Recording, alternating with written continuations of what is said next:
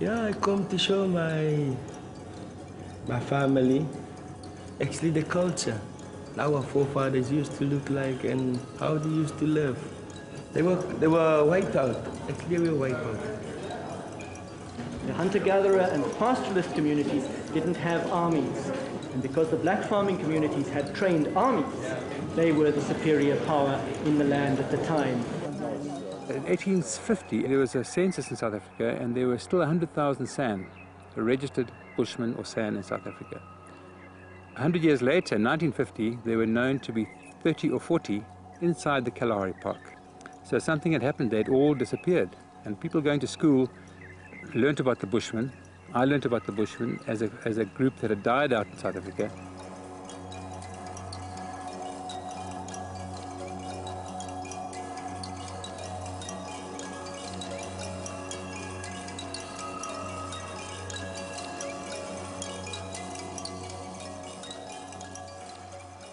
I'm Roger Chennells.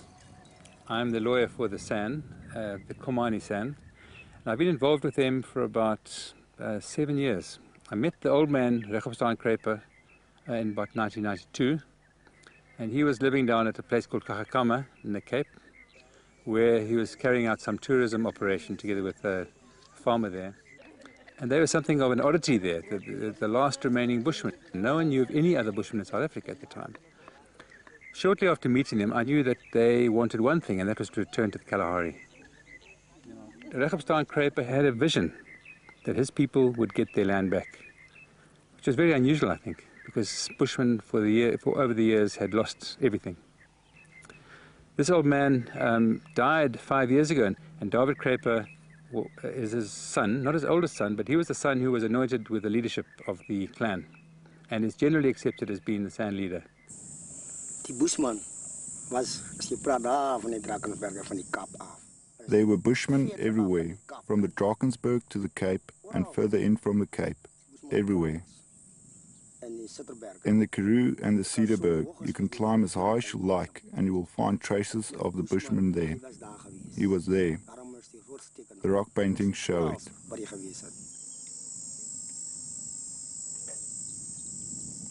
Ons is gedryf van die suide en die noorde. Maar ek was nie bang gewees nie. We were driven from the south to the north, but I was not afraid to go back. I went to Parliament and demanded, not if you please, sir. I demanded to know what had come of the land that belonged to the Bushmen, as proved by the rock paintings. Wat het geword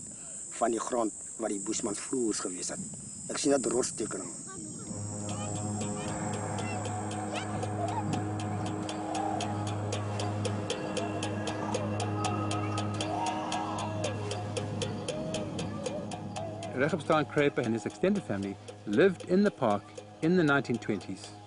In 1931, the Kalahari Gemsbok National Park was formed, not to save the Gemsbok, but really to preserve the way of life of the San who were known to be living there. But game reserve legislation doesn't protect people. And in a very, very short time, a clash started developing between the rangers who were focused on saving animals and the people living inside the park who were now restricted and the, the start of the eviction of the San began.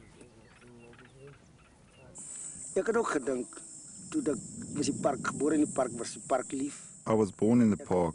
I love the park. I gained my skills there. I did courses there, not like in school. If a man wants to learn, he should come to me. I will give him knowledge of tracking. I learned everything in the park. I love the park so much, I can say it is my park.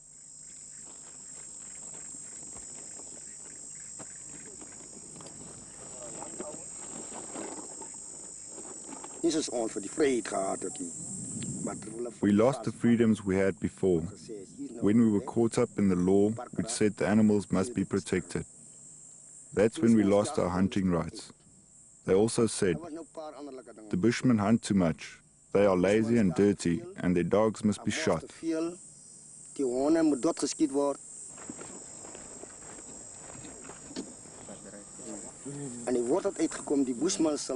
And word got out that we were making trouble for the park and they decided to make a plan.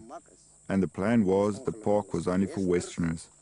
We must leave and find work.